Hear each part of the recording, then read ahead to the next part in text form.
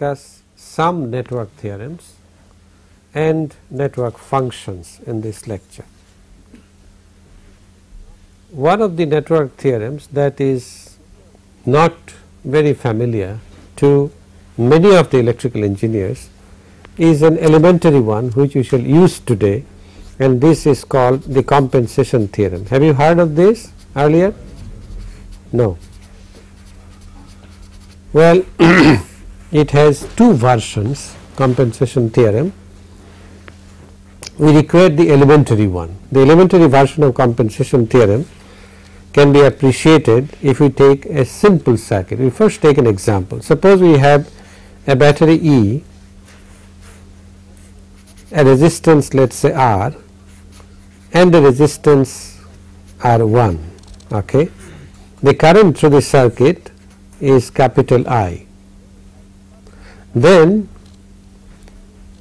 as far as capital R is concerned, as far as capital R is concerned, we could replace capital R1 that is the rest of the circuit. You see our we, we concentrate our attention on this element R. Okay. The rest of the circuit contains a voltage source E and a resistance R1 in which a current I flows. The drop across R1 is I times R1. Now, if I if I draw a circuit like this R and a voltage source here which is equal to IR1 all right an ideal voltage source then the rest of the circuit that is the element R that we have been considering, does the current change here? Current or voltage drop? No, nothing happens. All right, and therefore the compensation theorem states. Now this is an example of compensation theorem. It states that any element in a linear time invariant passive reciprocal network LLFPB network any element can be replaced by a voltage generator whose voltage is equal to the potential drop across the element. That is as simple as that all right. This is the compensation theorem. As far as the rest of the circuit is concerned it does not matter.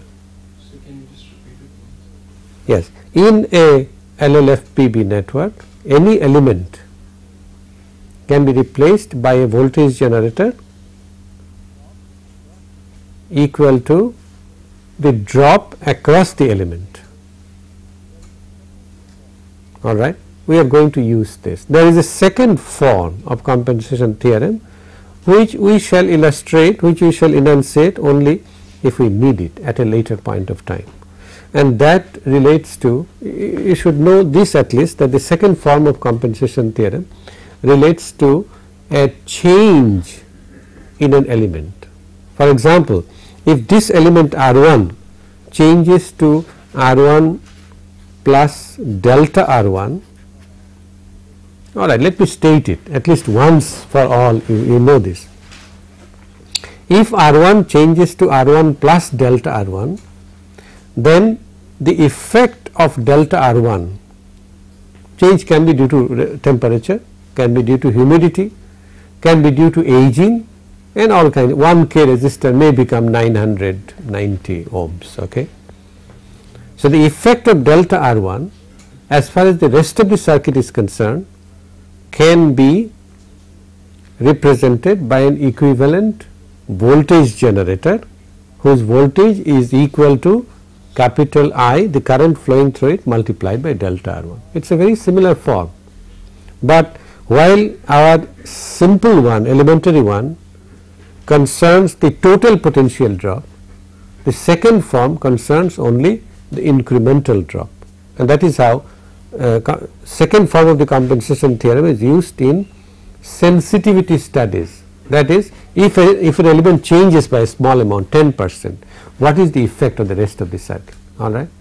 The second form we might require if we require then we shall go into more details, but the first form simply is that if you have an element current flowing through it then this element as far as the rest of the circuit is concerned can be replaced by a voltage generator an ideal voltage generator whose voltage is equal to the drop across the voltage drop across the element all right.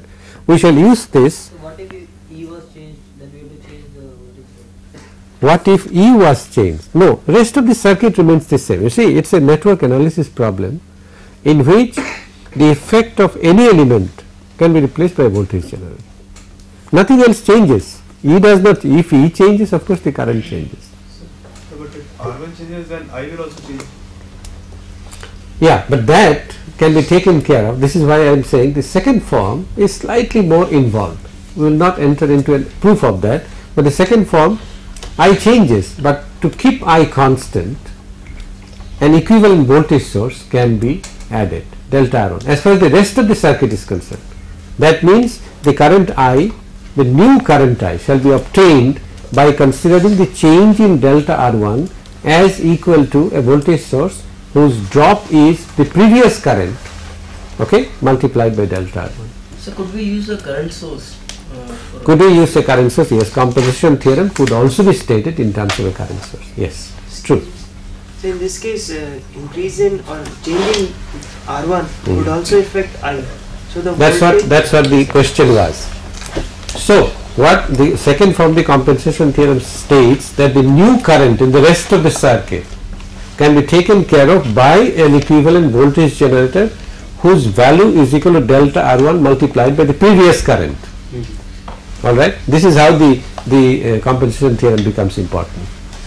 But as I said, we shall look into that in more details when we come to the to the point. At the present time, we shall only use this particular form that any element can be replaced by a voltage generator equal to the drop across the. So won't this require that delta R1 tends to zero? Hmm. We are not considering that form at all. So do not consider this as a result of the second form of compensation theorem. No, this is an elementary compensation theorem. Forget about delta R1 now. Delta R1 I simply mentioned that you should be aware that the compensation theorem has a second form.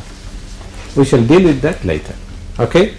So L and C can also be the same LDI. Any, any, any element. I simply said uh, with respect to resistance, but any element Z, if a current I flows, then for the rest of the, as far as the rest of the circuit is concerned, it can be replaced by a voltage source whose voltage is equal to I times Z with the same polarity. Okay, that's equal to the drop. We shall use the compensation theorem in proving in proving Thevenin's theorem. I am sure you are acquainted with the statement of Thevenin's theorem, but we will prove it in this class. I do not think it was proved, it might have been verified taking a resistive network or some other network, but proof requires the help of the compensation theorem. Well, as you know, the statement of the Thevenin's theorem is that if you have a network N having n number of voltage sources and n number of current sources, this is how we indicate a network N linear, passive, reciprocal, etc., etc. Not passive because it contains active sources. So, a general linear network containing n v uh, containing n number of voltage sources and m number of current sources that is what we indicate by n v and m i which delivers current or power to a load ZL to a load ZL. Now we are being uh, quite general and we are working in the frequency domain, the S domain, no, no longer in the time domain. Capital N may contain linear elements only, linear bilateral elements. Capital N may also contain voltage sources, current sources. It may contain controlled sources also that is a source whose current or voltage is controlled by some other some other voltage or current. But the only thing that is barred is that the load and the network the load is a is a typical element in the whole network it is a typical element. We are interested in finding out the current that flows through the load alright. We are interested in finding the current through any element which we call the load. The only restriction is that ZL and N must not have any magnetic coupling. No magnetic coupling, no M between ZL and N. This is the only restriction. Then Thevenin's theorem states that as far as this is very important, no mutual inductance. There cannot there cannot be any magnetic coupling. When the Thevenin's theorem states that as far as the load current is concerned, capital I, the whole network can be replaced by an equivalent voltage source Vt capital T for Thevenin in series with an equivalent impedance Zt again T for Thevenin alright it states that this is equivalent to this simple network. The current in this circuit, the current in the load shall be the same. This is the statement of Thevenin's theorem. Where now we shall have to specify what Vt and Zt are. Alright. Thevenin's theorem states that the whole network N can be replaced in so far as the current through ZL is concerned.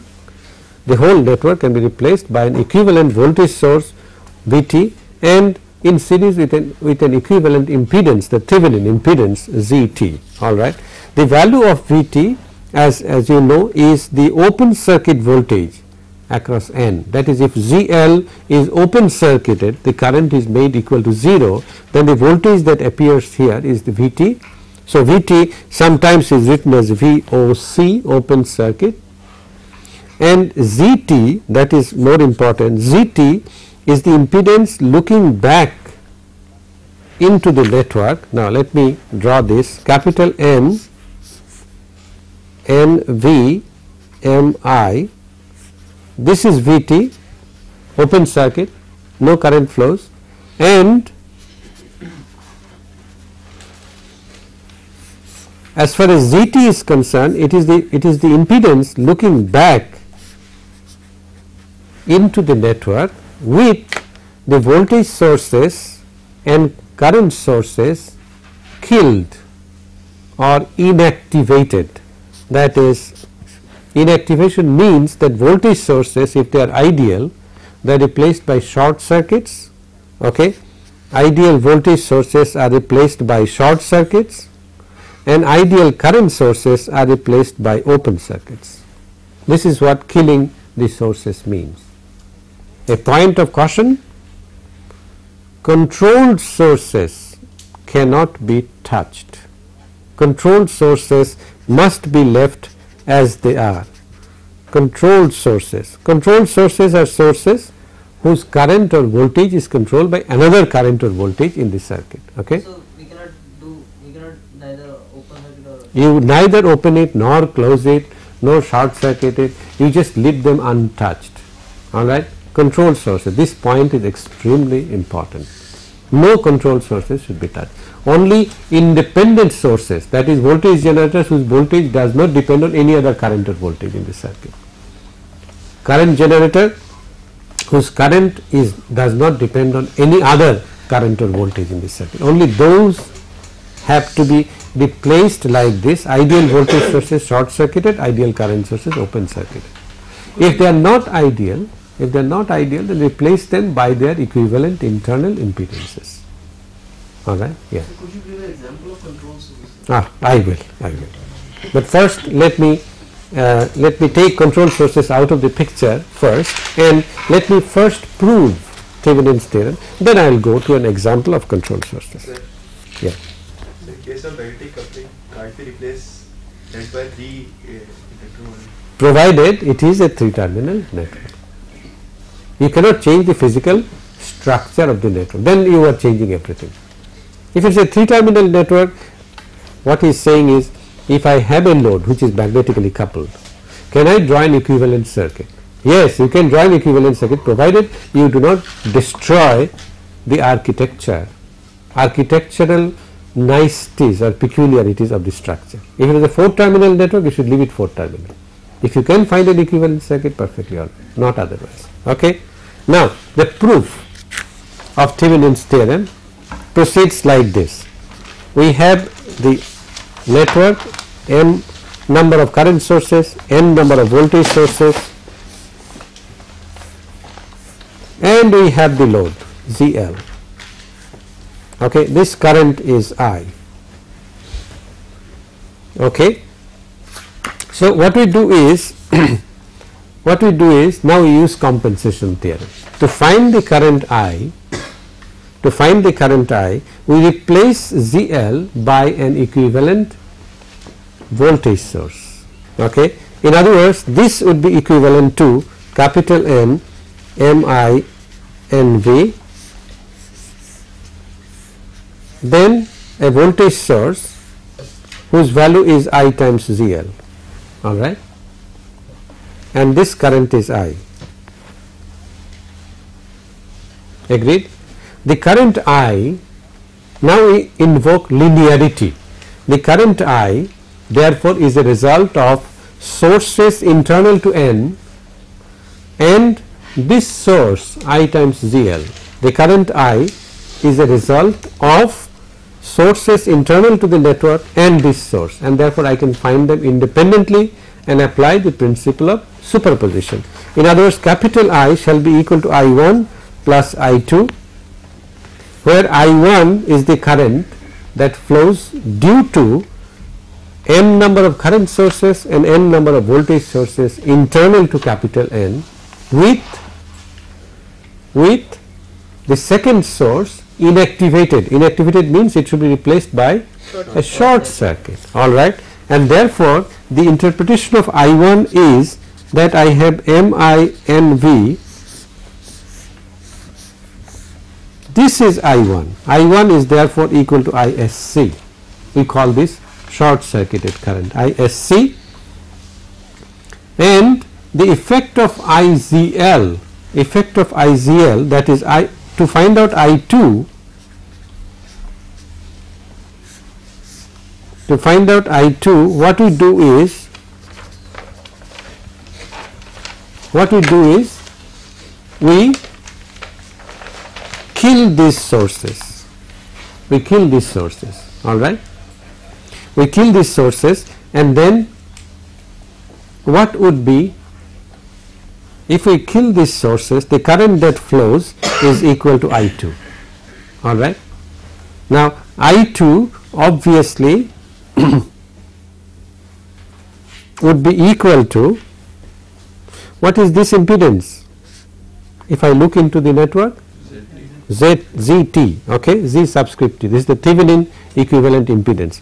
Therefore I2 would be equal to IZL this voltage source divided by ZT but with a negative sign that is correct with a negative sign because I2 opposes IZL. IZL tends to send the current into the network whereas I2 has been shown out of the network coming out of the network. Therefore, I2 is equal to this and therefore, my capital I which is the which is the addition of the two the current I therefore becomes equal to I1 plus I2 which is equal to ISC plus not plus minus IZL divided by ZT.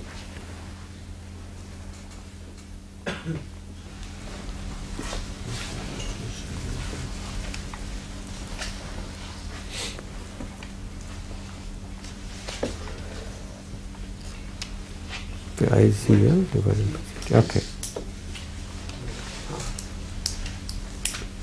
Now, this should be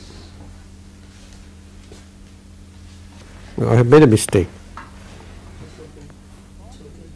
It's okay? All right. We call this now as equal to V, some voltage V, IZL equal to V. All right. Now, I can uh,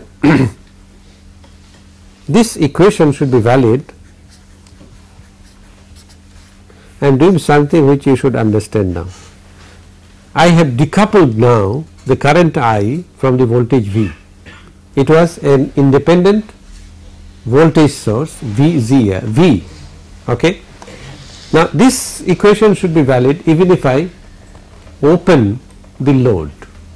That is if I make I equal to 0 then this equation should be valid and if I make I equal to 0 then ISC minus the V that I shall get now is the open circuit voltage that is VOC divided by ZT. Is that clear? Is this clear? Okay. ISC should be equal to instead of V I will write open circuited voltage that VOC by ZT. So isn't V So a function of I? Ah, that is the question. V is a function of I, but V will exist even if I equal to 0. So what we've taken. Under that condition, you see, VOC is not in general equal to V. In general, no. VOC is the special value. This is the beauty of the compensation theorem. That as far as the rest of the circuit is concerned, you can replace it by a voltage generator. Now, you disconnect the component, the voltage generator remains, but it becomes the open circuit voltage. That is, it draws no current from the load. Alright, this is the application of the compensation theorem. And therefore, ISC equal to VOC by ZT. Now let us go back to the equation that is what I get is I equal to ISC minus I ZL by ZT and ISC is equal to VOC divided by ZT minus IZL divided by ZT and therefore I 1 plus ZL by ZT is equal to VOC by ZT and therefore I equals to VOC divided by ZL plus ZT and that proves Thevenin's theorem. That is as far as the current is concerned current is given by a voltage source VOC then a series combination of ZT and ZL. Okay? Excuse me. Yeah. Explanation for replacing the voltage source by an open circuit first? Okay. For oh, the compensation theorem. So the, you replace the compensated voltage by an open circuit. I didn't replace it by an open circuit. What I said was this is a voltage generator, capital V. Now capital V exists even if I becomes equal to 0. Under that condition we call it VOC. Okay? You see the network contains voltage sources and current sources and therefore if the load is infinite even then a voltage exists and that voltage we are calling VOC alright? Because I is equal to 0 the voltage is not 0 the voltage I V equal to IZL is a general condition.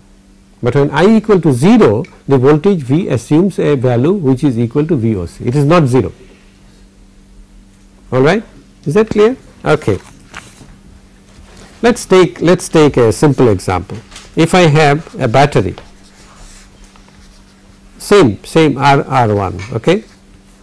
The voltage here is IR1 now if I if I open circuit this the voltage was I times R1 I becomes equal to 0 but R1 becomes infinite.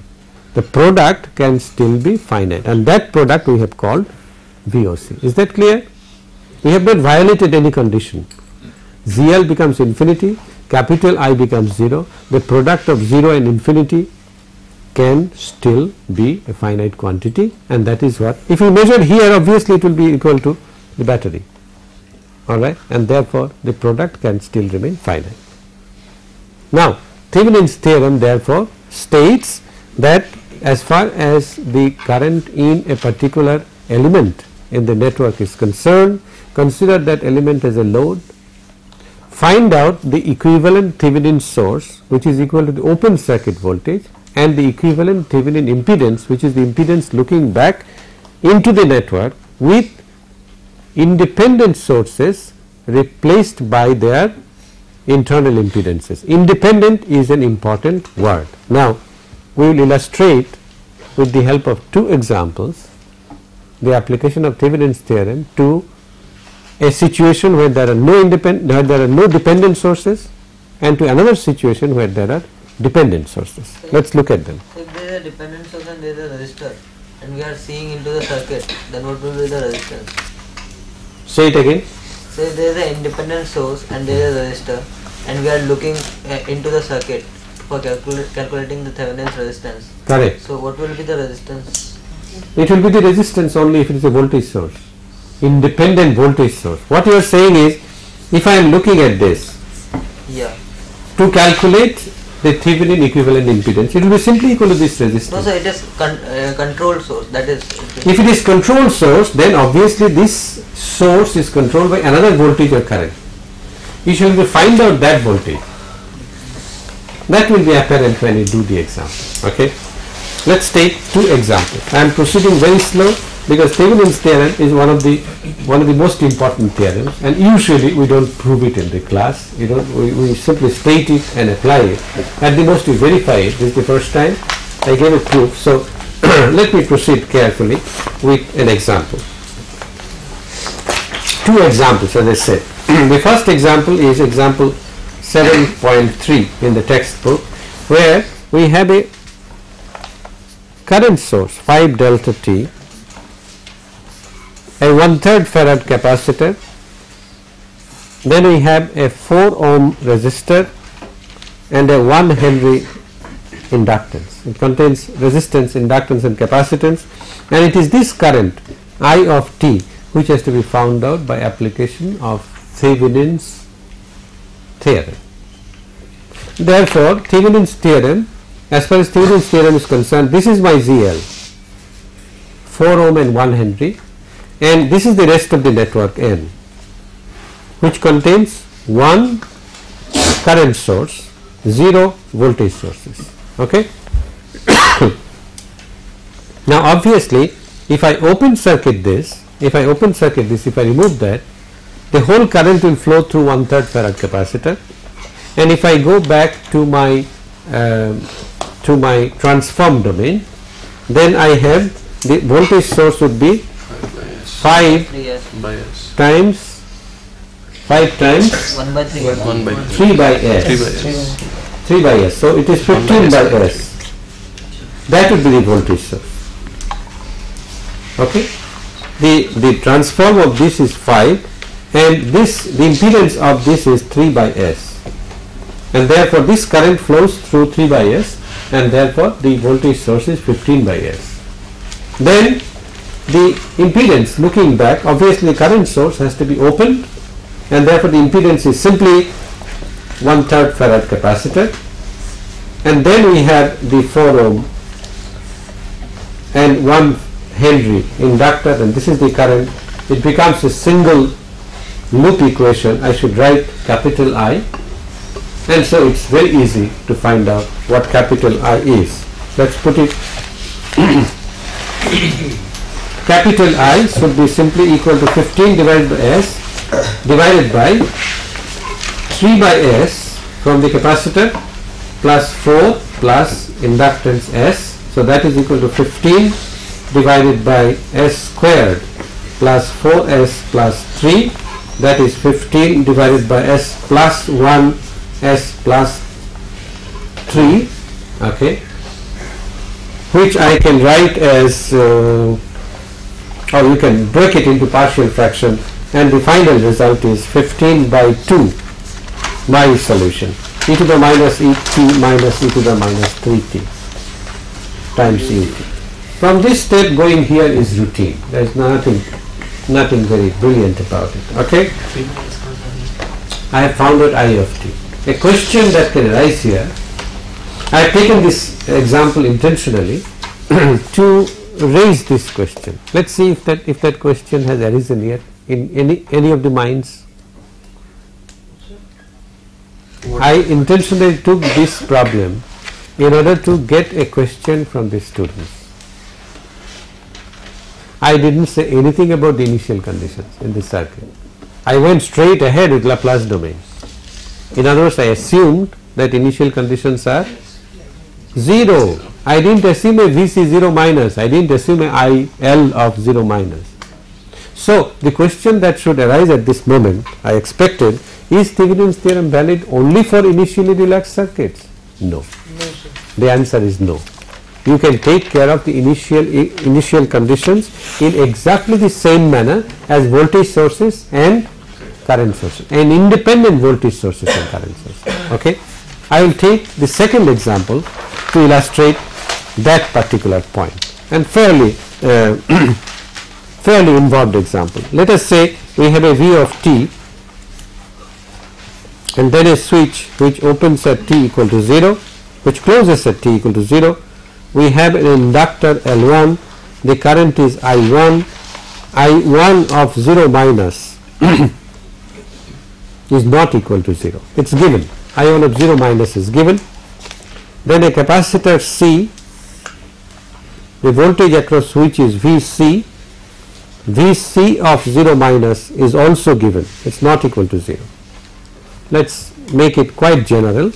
Then we have another inductor L2 in which the current is I2 and I2 of 0 minus is also not equal to 0 and finally we have a resistance R whose value the voltage across which is V0t and it is it is V0t which you have to find it is this resistance it is this voltage that you have to find out.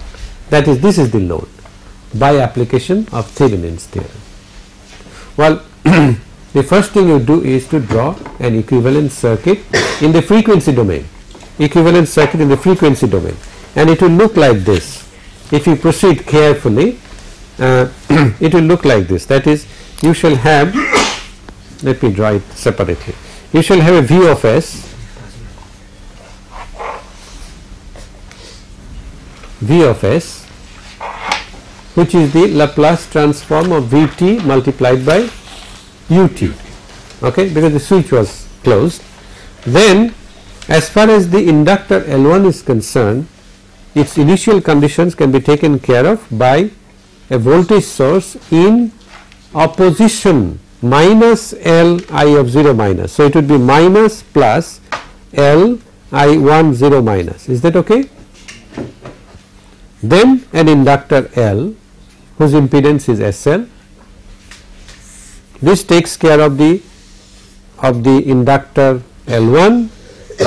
the capacitor can be taken care of by a relaxed capacitor in series with a voltage source opposition or for for okay plus minus and this would be V sub c 0 minus all right.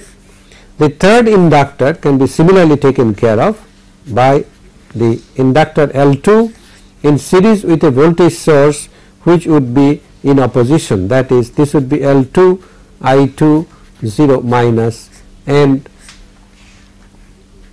this is what the network N is. This is to these points shall be connected the resistance R and this is V 0 of S. Okay. What we have to find out is VOC and the impedance ZT. Okay. Now, to simplify matters, to simplify matters, let us call let us call this voltage as V1, let us call this voltage as V2 and this voltage as V3. Okay. Then is Vt obvious? I do not have to write any loop equation or node equation. You see what how, how I do? By observation. you see Vt, Vt obviously will be this voltage, this voltage minus or plus? Plus V3 okay this voltage plus V3 and if you open circuit this no current flows in L2 all right? And therefore current only flows in this loop if I open circuit this that is R is removed, you remove R, then this voltage, what will be this voltage? The current in this circuit, the current in this loop shall be V plus V1 minus V2 divided by okay, V plus V1 minus V2 this is C divided by S L1 plus 1 over SC agreed? This will be the current. So, the drop in C shall be this multiplied by 1 over SC okay? And this drop adds to V2 okay? This will be the voltage here. Then Plus V3. plus V3 this will be VT is that clear? This is step by step observation but very careful observation. Not seeing. There is a difference between seeing and observing. Seeing is what Watson used to do and observing is what Sherlock Holmes used to do. Have you read Sherlock Holmes? Arthur Conan Doyle? Okay. Holmes always used to say Watson you do not you only see you do not observe. You have to observe here and a very systematic observation okay? Is this clear that VT can be written down by inspection? Similarly ZT can also be written down by inspection. For finding ZT you short circuit this you short circuit this you short circuit this you short circuit this. Because they are all voltage sources and independent voltage sources. And therefore GT would be simply SL2 plus 1 over SC in parallel with SL1 and once you have found out V t Z t you can now find out the current in R or the voltage across R. The voltage across R V0 would be simply Vt divided by Zt plus R multiplied by R that is all. You see a fairly uh, complicated circuit a two mesh circuit solved by inspection. You did not have to write mesh equations. You did not have to write node equation. This is the beauty of Thevenin's theorem. That if you do not want the currents and voltages in all the branches of the network it is only one branch then you can avoid writing those messy mesh equations okay or nodal equations. You can simply apply Thevenin's theorem and most of the time the result will come out by inspection. I didn't I didn't solve any equation here I just wrote down by inspection okay this is the beauty of Thevenin's theorem. So Thevenin's theorem can be applied can be applied to networks containing initial conditions there is no problem alright. This is in frequency domain. This is in the frequency domain yes. In the time domain. that uh, in the time domain you will have to write the corresponding equations. You will have to solve the differential equations. So is that required? It is not required if you are good in frequency domain. So can you leave it like this? The output is equal. No, you have to invert it. After you find out V0, you have to find out V0, small V0 of t. Yes. But you see, the, the beauty of the frequency domain is you do not handle any differential equation. All equations are algebraic. Okay. Now let us take the another example in which there is a control source. And the most common example is that of a uh, transistor. A transistor amplifier let us say uh, with an emitter resistor to make things complicated which is unbypassed. Okay. So, the equivalent circuit I am talking of a a circuit like this. The signal source is here of course, there are coupling capacitors and the output is let us say taken here. This is plus VCC. Let us take a simple transistor amplifier with this unbypassed, the emitter resistor unbypassed. Then the equivalent circuit if this is let us say R sub C, the equivalent circuit is the following.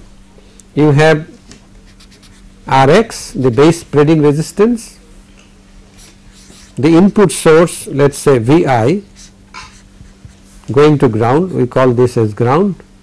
We ignore the biasing resistors we, in, we think that they are we consider them to be large compared to R pi. Are you acquainted with these symbols? Yes. Okay. And we ignore we make low frequency analysis we ignore the internal capacitances. So, let us say this voltage is V then as you know this is the emitter emitter emitter terminal from which goes a source uh, goes a resistance Re okay? And this current source is GMV between the collector and the emitter.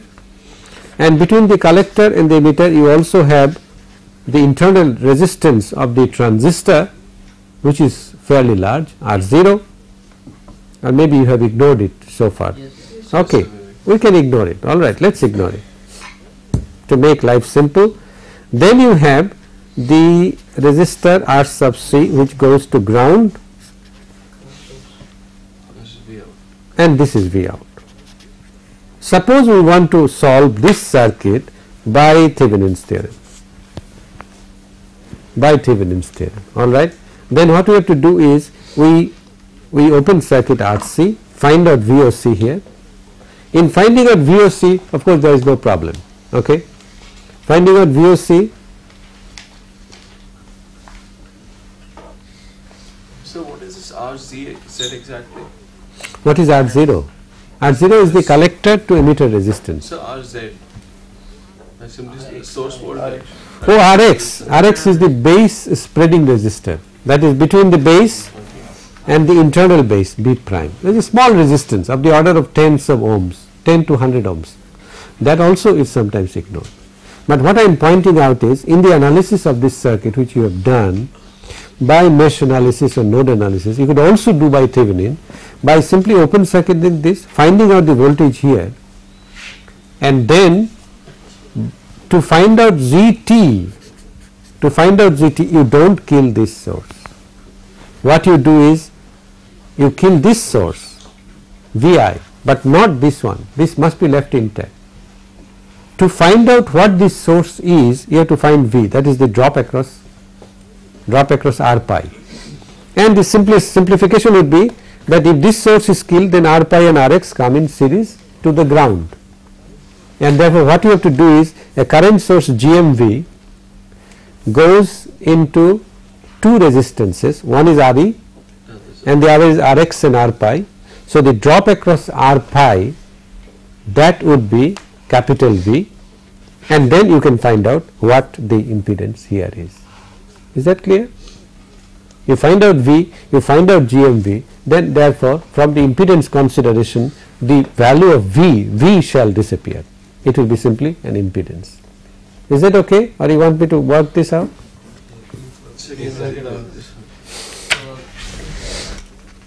Okay. I wanted to avoid that but let's let's do it it does not matter. There is a GMV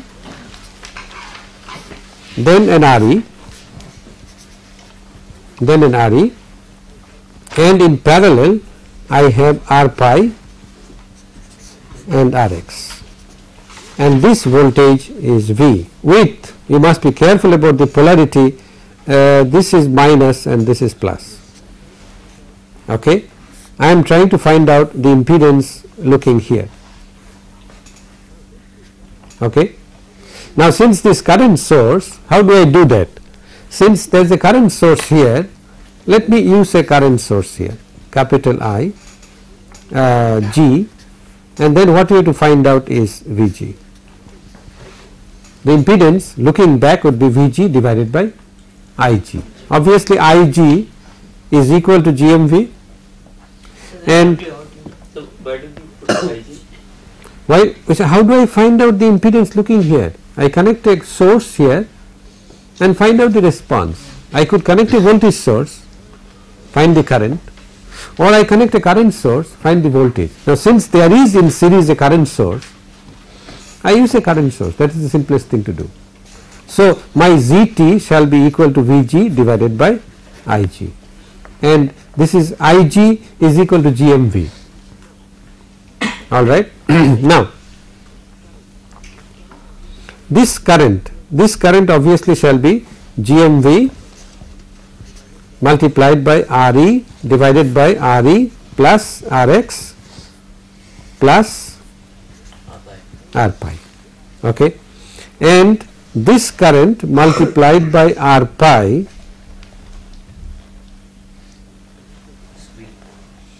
is equal to V no it is it is equal to minus V all right. So, now what is uh, I know Ig is GMV and the drop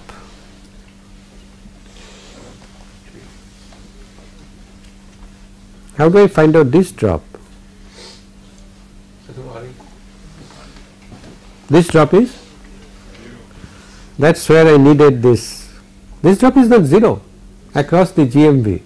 It has become a degenerate case now. This is why I needed that R0. You remember R0 we had ignored. If I have an R0 then it is easy to find out this drop. Okay? But let us leave it to you. I do not want to spend time on this calculation. You, I set this as an assignment to you. You have done this earlier, you have done this by a different method, by using the uh, mesh analysis or node analysis, but it can be done. Okay. I have told you sufficient details about it. Even if R naught is not there, even if R naught is absent, one can calculate, there is no problem. Would it be easier if we, in this case, we find out the short circuit current and then find ZT by V open circuit by short? circuit? Okay, okay, that is an easier method, yes. But you require to calculate ZT. So, so VOC by ISC. Okay, you can do that. ZT you can calculate as VOC by ISC, short circuit. How will How would you find VOC? Open circuit this, the source is there, find out the output voltage. Find, the voltage across the current source, pardon me, control current source. What is the voltage drop across the current source? Well, that will be determined by the rest of the circuit. There, you see, when you calculate VOC, this is not absent, this is still there. So, but say if we open circuit it, we won't get any GMV, any current in that branch. If we open circuit this, we shall not get a current here. Okay. So that's the clue. Yes, sir. The voltage drop across RE is equal to the voltage drop. Quite so. Okay, those simplifications you look at them. It's not a difficult task. Okay, uh, the rest of the time, I have uh, another five minutes. The rest of the time, I want to uh, talk about the Norton's theorem. As you know, Norton's theorem is the dual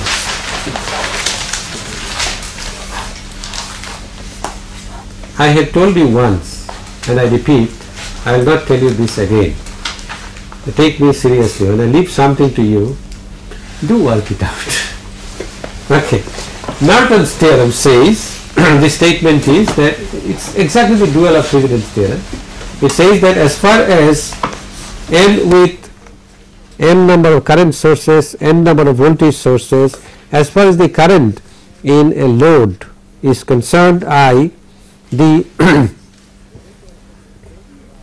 the network can be replaced by an equivalent current source I n in parallel with an impedance Z n and then Z L.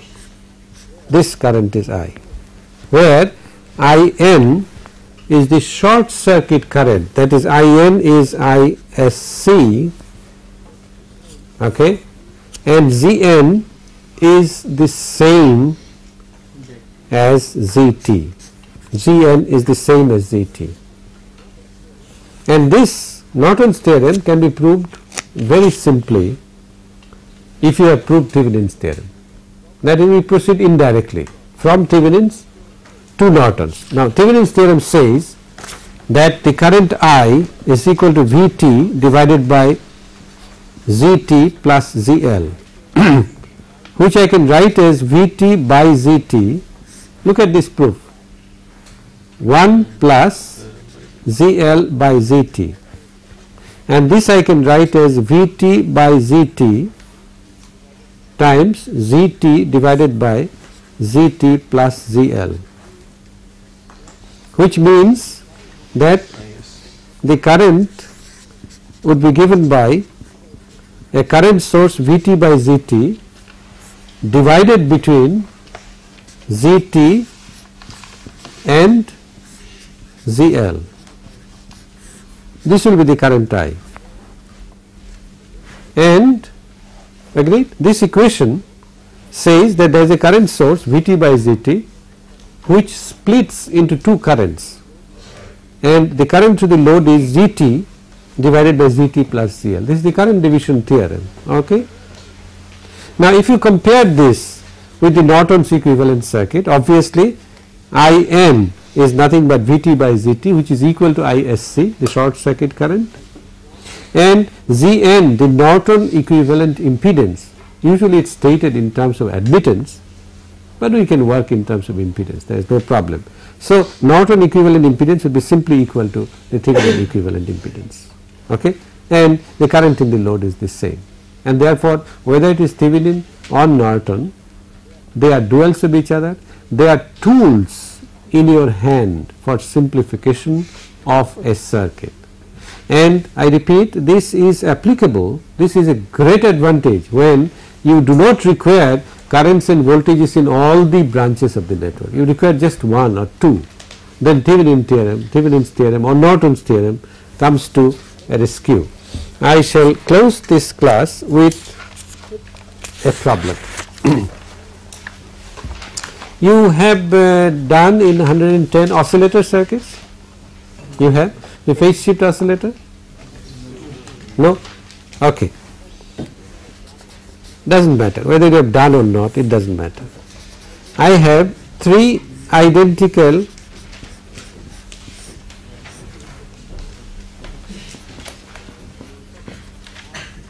sections R C R C R C. I have connected a voltage source V i here and I am interested in finding out the voltage V o here. Okay. V o by Vi. This is the function network function that I want to find out. Obviously, in the Laplace domain all capacitors are initially relaxed and you have to find out the frequency at which V0 by Vi this angle is equal to pi that is there 180 degrees out of phase. At this frequency what is V0 by Vi? What is the value? And I want you to find this out. You see if you go by ordinary, you understand the problem? Okay. If you go by ordinary analysis, you will write three loop equations, three mesh equations and have to solve for 3 by 3 determinant. Agree? Okay. If you write node equations, again 1, 2, 3, 3 nodes, 3 by 3 determinant. But even here when when I want to find out the network function, the individual currents in the in the elements are not important. I just want to find out the open circuit voltage here. Okay. Even here Thevenin's theorem comes to great help. You see you apply Thevenin's theorem once here, then you get an equivalent source in series with an impedance which is by inspection no solution of differential equation or algebraic equation no nothing then we apply Thevenin's theorem again here second time. Then what you have? Then you have a simple one mesh one loop circuit. And therefore V0 can be obtained. And you can do this analysis almost by inspection. Careful inspection okay? You have to observe not see. Agreed? I want you to solve this by application of Thevenin's theorem. We will see you again on Tuesday.